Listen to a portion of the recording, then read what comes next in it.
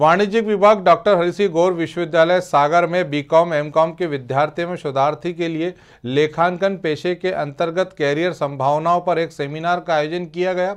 उस सेमिनार के मुख्य वक्ता वाणिज्यिक विभाग के उन्नीस सौ चौरानवे के छात्र और वर्तमान के रामजी नायक रहे।